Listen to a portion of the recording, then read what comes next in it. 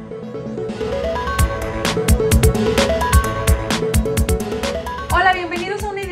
los Fly Videoblogs. En esta ocasión quiero dejarles con una entrevista que le hice a Price Pero, una muy amiga mía, que también es fotógrafa y está en Veracruz. Ella hace bodas y yo la conocí a Prox desde hace 3, 4 años cuando las dos trabajábamos con David Josué. Así que traemos la misma escuelita y a partir de que las dos nos decidimos a ser fotógrafas, nos hemos ayudado en retro, en tips, en mandarnos contratos, en checar nuestras fotos, en ir a workshops juntas. Y pues creo que mejor que nadie que Pris para responder cualquier duda que tengan en cuestión de cómo ser mamá y fotógrafa al mismo tiempo. Yo en mi caso trabajo desde mi casa, pero todavía no soy mamá pero de repente la organización del tiempo es un poquito complicado. Aquí no lo ven, pero yo estoy trabajando en un cuartito que está al lado de mi lavandería, entonces tengo que dividir mi tiempo entre mis fotografías, mi postproducción, eh, lavar ropa, cocinar, ir a nadar, etc. Entonces, bueno, ya después les hablaré yo de mi rollo, ahorita los dejo con Pris. Saludos y cuídense, bye bye. Pues muchas gracias, Fly, por tenerme aquí en tu videoblog. Este, yo soy de Veracruz, estudié diseño industrial en Monterrey, donde me topé con el señor David Josué en la clase de fotografía. Y bueno, yo conocía únicamente los fotógrafos de Veracruz que hacían fotografía tradicional y entonces su trabajo me llamó muchísimo la atención y ya fue que le comenté que me, me, interesaba mucho esto de la foto, que me gustaría mucho dedicarme a eso. Y me dijo, ah, pues vente unos días al estudio, este, te vienes acá con Fly y me echas la mano en algunas sesiones, me acompañas a alguna boda. Y así me conocía, así fue que conocí a Miss Fly, un gustazo, que me enseñó mis bases de retoque y entonces estuve ahí viendo cómo David trabajaba con las quinceañeras y me llevó a unas cuantas bodas. Estuve trabajando ahí como un año hasta que me gradué. Me regresé a, a Veracruz y me casé. Entonces, ya en Veracruz, pues como que me daba el miedito de empezar mi propio negocio de foto pero pues el trabajo ya no era una opción, un empleo cualquiera ya no era opción para mí, como que estuve en uno, en una escuela y fue terrible, entonces dije, no, tengo que hacer esto. y fue que empezamos y pues llevamos dos años en esto y pues ahí echándole ganas. Muy bien, excelente, Pris. Oye, y una, bueno, yo me acuerdo el año pasado cuando recién te embarazaste, una de las preguntas que me surgió a mí, porque pues yo también estoy casada y eventualmente también quiero tener bebés, es que si tú habías planeado tu embarazo de acuerdo a tu trabajo o cómo le hiciste, fue algo que sucedió y después organizaste todo lo demás, más o menos cómo pasó. Pues eh, Chava, mi esposo y yo siempre tuvimos la idea de que, bueno, vamos a esperar dos años de casarnos para tener hijos. Entonces, como por año y medio que llevábamos de casados, ya andábamos viendo bebés por todos lados y como que ya nos estaba entrando la cosquillita. Y este, y pues decidimos aventarnos unos meses antes de cumplir los dos años.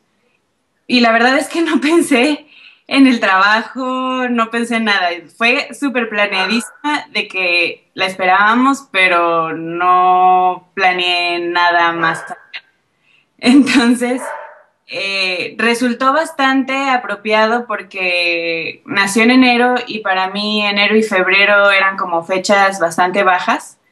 Entonces estuvo bastante bien. Yo creo que si alguien lo va a planear, una fotógrafa que vaya a planear embarazarse, embarazarse en abril es una excelente opción. Salió muy bien. Oye, y todavía me acuerdo pues también que fuimos a, bueno, yo fui a Veracruz y nos acompañamos en un workshop por allá de octubre y estabas panzona y me tocó ver todavía fotos tuyas panzona trabajando en bodas. ¿Cómo le hacías? ¿Era cansado o cuál fue tu experiencia? Pues sí es cansado, o sea, aún los primeros meses que uno todavía no está con la panza y con el peso encima, es cansado porque tu cuerpo está cambiando, muchas veces tienes mucho sueño y pues ni modo, o sea, uno puede pensar que es difícil, pero hay tantas mujeres trabajadoras en oficinas que están ocho horas y dije, pues, ¿por qué si ellas lo pueden hacer, uno no lo puede hacer? Pues hay que echarle un poquito más de ganas. Yo decidí, o sea, tomé la decisión de un mes antes de que, de la fecha programada, ya no agendar eventos. Aunque la verdad recomendaría que fuera un poquito más, porque, porque ya los siete meses ya uno no está como tan ágil para andar subiendo y bajando y, y puede uno hacer las cosas, pero no da uno el 100. O sea, no, no, no puede dar uno así como todo, como cuando uno no está con unos kilitos encima. Oye, y ya que tuviste a Vane, eh, ¿qué tal te fue? Bueno, dices que la tuviste en enero, entonces me supongo que los primeros tres meses fueron tranquilos porque no hay mucha chamba, pero ahorita, ¿cómo le estás haciendo para, para equilibrar tanto tus tareas como mamá, como de fotógrafa, que son los fines de semana? ¿Cómo le haces? Pues desde que estaba embarazada decidí, primero que nada, darme dos meses. De por sí son meses bajos. Entonces solamente tomé la decisión de que hasta marzo iba a empezar yo a trabajar. Y aparte tomé la decisión de que fueran dos, tuviera yo dos fines de semana libres por mes. Esto porque pues no sabía lo que era ser mamá, no sabía cuánta demanda de, de tiempo eh, me iba a requerir Vanessa y pues es como para ir calando, viendo cómo nos podemos manejar. Y ahorita pues apenas va a cumplir cinco meses. Y este y para mí ha sido muy bien porque he podido trabajar pero no ha sido así como agobiante entre el trabajo y luego eh, hacer la postproducción y luego atender a la bebé. Y, o sea, como que por ese lado la he llevado bastante bien. Okay. Oye, ¿y cómo te organizas el tiempo, por ejemplo, en tu casa? Porque también trabajas desde casa. ¿Cómo es la organización del tiempo entre tus tareas de mamá y tus tareas de fotógrafa? Pues todavía es un caos. Yo quise eh, ponerle una rutina a Vanessa para poder eh, tener bien medidos mis tiempos y, poder administrarme bien en tiempos. Pero la cuestión es que con mis salidas se rompe la rutina.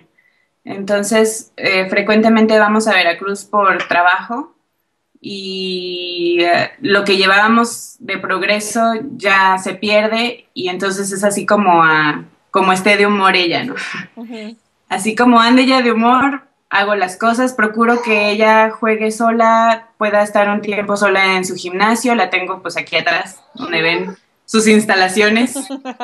Eh, normalmente ahí está, en su gimnasio, cualquier cosa, eh, pues ahí le, la, la atiendo y pues mientras estoy este, trabajando o cocinando las demás cosas que se tienen que hacer aquí en la casa. Muy bien, Prisi, ¿alguna recomendación que le darías? Porque fíjate que en, Facebook posteé que te iba a entrevistar y una chava fue de hecho la que me organizó más o menos las preguntas que te estoy contestando porque también ella está casada y pues eventualmente también quiere tener bebés. ¿Algunas recomendaciones que tú creas pueden servirles a nosotras que queremos tener hijos pero que trabajamos por nuestra cuenta?